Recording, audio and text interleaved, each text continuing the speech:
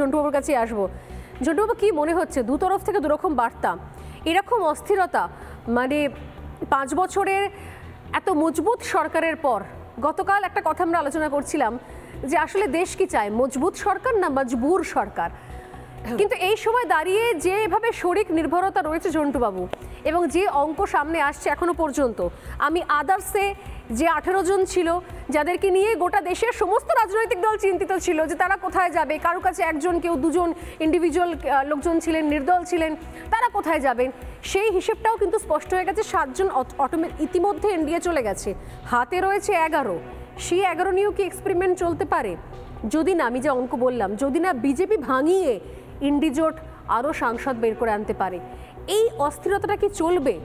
নাকি মনে হচ্ছে কোথাও যে সত্যি অ্যাকচুয়ালি অস্থিরতার কোনো জায়গা নেই? কোনটা? আমি প্রথমেই বলি, দেখুন, এটা কিন্তু নরেন্দ্র মোদীর ফ্লোর টেস্ট কারণ নরেন্দ্র মোদী এন্টার পলিটিক্যাল ক্যারেক্টারে এইভাবে জোট কোঅর্ডিনেশন করে, জোট ধর্ম তৈরি করা, জোট মানে স্যাক্রিফাইস এইটা কিন্তু রাজনৈতিক দর্শনে নরেন্দ্র মোদী করেনি।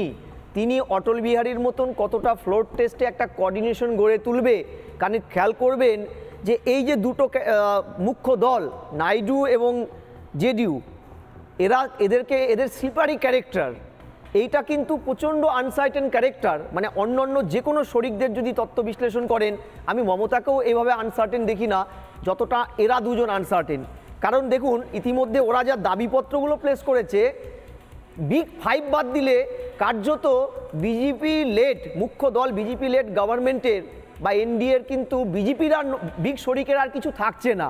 মানে কার্যত তারা কন্ট্রোলড ইভেন বলছে রাজ্যপাল রিক্রুটমেন্টটাও ওদের ইয়েতে করতে হবে, তত্ত্বাবধানে।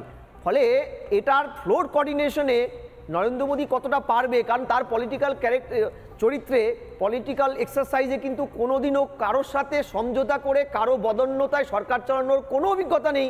ইভেন গুজরাটেও তিনি কিন্তু মুখ্যমন্ত্রী ছিলেন অ্যাবসোলেট মেজরিটিতে এই মেজরিটোরিয়ান পলিটিক্সটা যারা করে, তারা কতটা কোঅর্ডিনেশন করতে পারবে জোট পলিটিক্সে কারণ জোট পলিটিক্স মানে কিন্তু আমি আবারও বলছি, একটা সত্যিকারের স্যাক্রিফাইস যেটা ভারতবর্ষের জোট রাজনীতির পার্সপেক্টিভে যদি ইতিহাসটা ঘাটেন, বামেদের চাইতে সঠিক অর্থে জোট রাজনীতিটা ফ্লোর কোঅর্ডিনেশনটা আজ অবধি ভারতবর্ষের ইতিহাসে কেউ করে উঠতে পারেনি। ইভেন ইন্দিরা গান্ধীও নয়।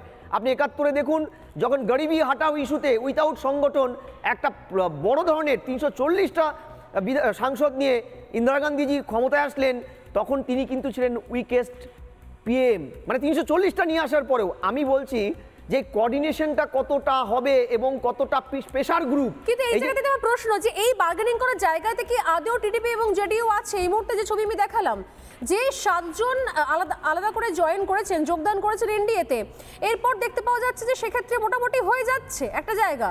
অর্থাৎ টিডিপি বা জেডিইউ যদি বেরিয়েও যায় তাহলেও খুব সমস্যা হওয়ার কথা নয়। আপনি একটা পাটিগণিতের অঙ্ক বলছেন যেই আঞ্চলিক দলগুলোর কথা বলছেন আপনি এই অঙ্কে দেখছেন না কেন? যে জেডিইউ আর এ বেরিয়ে যাওয়ার পরে ওদের অবস্থানটা কি হবে? ওরাও তো এই প্রেশার গ্রুপেরই পার্ট মনে রাখবে ঠিক।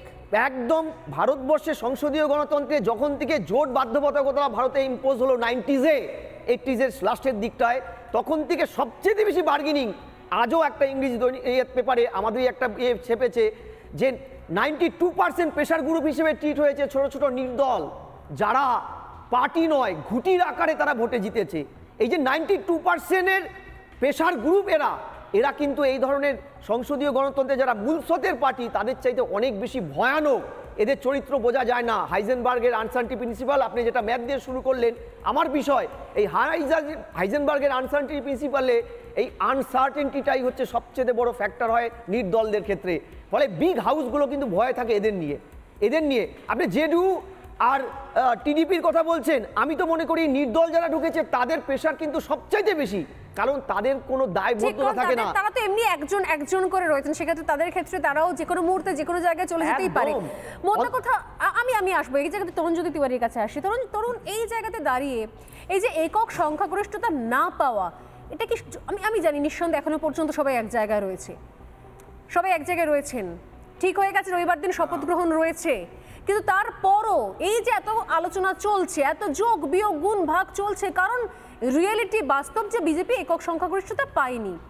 এই যে জোট নির্ভরশীলতা চলছে এই জোট নির্ভরশীলতা কি কোথাও কাঁটা হয়ে দাঁড়াচ্ছে এই মুহূর্তে দাঁড়িয়ে? স্বর্ণালী এটা যেমন রিয়েলিটি ঠিক এরকমও এটাও রিয়েলিটি যে এতগুলো দল এক হয়েও একমাত্র বিজেপির থেকে আসন সংখ্যা বাড়াতে পারল না এটাও রিয়েলিটি কালকে যখন ইন্ডি ব্লকের মিটিং চলছিল তখন প্রথমে দেখলাম সঞ্জয় রাউত একটা কথা বললেন।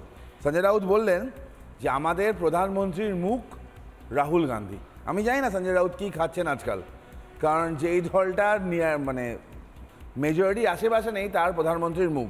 তারপর মিটিং ওভার হলো। মল্লিকার্জুন খাড়গেজি বেরোলেন, বেরিয়ে তিনি বললেন আমরা ডিসাইড করেছি, আমরা অপোজিশনেই বসবো। মানে অ্যাজ ইফ ব্যাপারটা এরকম যে আমরা সরকারে বসতে পারতাম।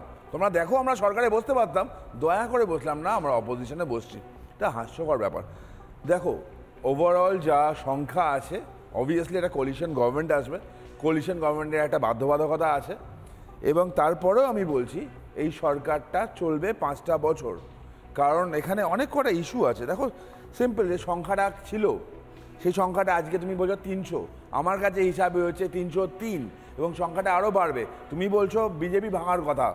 আমি তোমাকে বলছি can you give me any guarantee যে কোনো এই দলগুলোর মধ্যে কোনো দলের টু থার্ড মেম্বার বেরিয়ে যাবে না। আরেকটা অ্যাসপেক্ট বলছি, তুমি বলেছ বিজেপি ভাঙার কথা। বিজেপি ভাঙার কথা যদি বলো অ্যান্টি ডিফেকশন ল কিন্তু ইউজ করা যায় খুব ভালোভাবেই। কি হবে অনেকেই জানে। যারা বিজেপি ভেঙে বেরোবে বেরোতে চাইবে বাইরে বেরিয়ে বলতে পারবে না যে আমরা বিজেপি থেকে বেরিয়েছি রিজাইন করে বেরোতে হবে। আর বিজেপিকে টু থার্ড ভাঙতে হবে যেটা কোয়াইট ইম্পসিবল যদি ঠিক, বেরো একদম একদম ঠিক তরুণ। কিন্তু আমি বলছি না। তরুণ আমি একটু ইন্টারাপ্ট করছি। আমি প্রত্যেকের কাছে আসব। একটু শেষ করে। এর এর আছে। সোনালি, মজার জিনিস আছে। আমি আচ্ছা, আমাদের মুখ্যমন্ত্রী আমি আমি রাজ্যের প্লিজ বলব সৈকত এবং ঝন্টুবাবু নিজেদের মধ্যে আলোচনার জায়গায় থাকবেন। আমি আসব আপনাদের কাছে এক এক করে। দশ সেকেন্ড লাগবে হ্যাঁ। আমাদের রাজ্যের মুখ্যমন্ত্রী বলতে শুনলাম যে প্রধানমন্ত্রী নরেন্দ্র মোদীজির হওয়া উচিত না, তার রিজাইন দেওয়া উচিত। তার কি মুখে শোভা পায়? যে নিজের ওয়ার্ডে হেরেছে, যে মুখ্যমন্ত্রী নিজের বুথে হেরেছে, তার মুখ্যমন্ত্রী থাকার যোগ্যতা আছে কি? যদি বলি, পশ্চিমবঙ্গে আমরা সাত আটটা বিধানসভা জিতেছিলাম, আজকের হিসাবে আমরা নব্বইটা বিধানসভা এগিয়ে।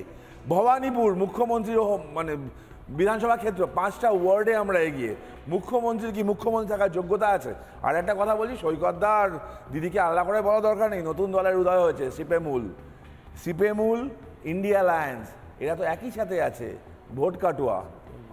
না, এটা তো সিপিএম সিপিএমুল এটা আপনাদের রাজনৈতিক টার্ম যেরকম বিজেমুল সিপিএমুল কিন্তু সিপিএম এবং তৃণমূল যে একসঙ্গে রয়েছে বা একসঙ্গে ছিল, এটা তো আগে থেকে স্পষ্ট ছিল। এটা বিজেপির ব্যর্থতা কি তারা সেটাকে সামনে তুলে ধরতে পারেনি। তারা কোথাও, এইটাকে প্রমোশনে আনতে পারেনি। কিন্তু আগে থেকে জোট ছিল, একসঙ্গে ছিল এবং সেটা যে আবার জোট হয়ে যাবে একসঙ্গে, এটা জানা কথা ছিল। যদি রাজ্যের ক্ষেত্রে বলা হয়, বলতে হয়, তাহলে রাজ্যের ক্ষেত্রে রাজ্য বিজেপি নেতৃত্বের একটা ব্যর্থতা যে তারা সিপিএম, কংগ্রেস এবং তৃণমূল যে একই সারিতে রয়েছে, সেটা তারা তুলে ধরতে পারেনি প্রচারের ময়দানে গিয়ে, সেটা অন্য বিষয়। আমি রাজ্যের নিরীক্ষে অঙ্কের জায়গাতে আছি এবং যে জায়গায় বলছেন তরুণ বললেন যে, স্বর্ণালী, তুমি বলছো যে, বিজেপি ভেঙে যাবে। আমি বলছি না।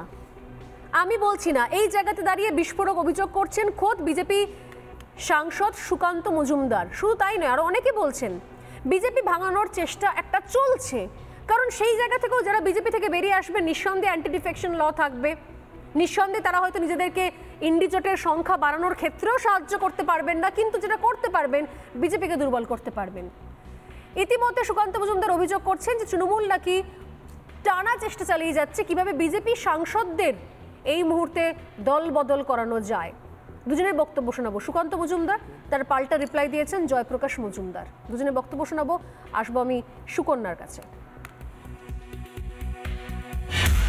জোটের বাকি সদস্যরা ধীরে চলো নীতি নিলেও তৃণমূল কংগ্রেসের অতি সক্রিয়তা। অভিষেক বন্দ্যোপাধ্যায়ের বক্তব্য, বিজেপির অনেক সাংসদ আমাদের সঙ্গে যোগ রাখছেন।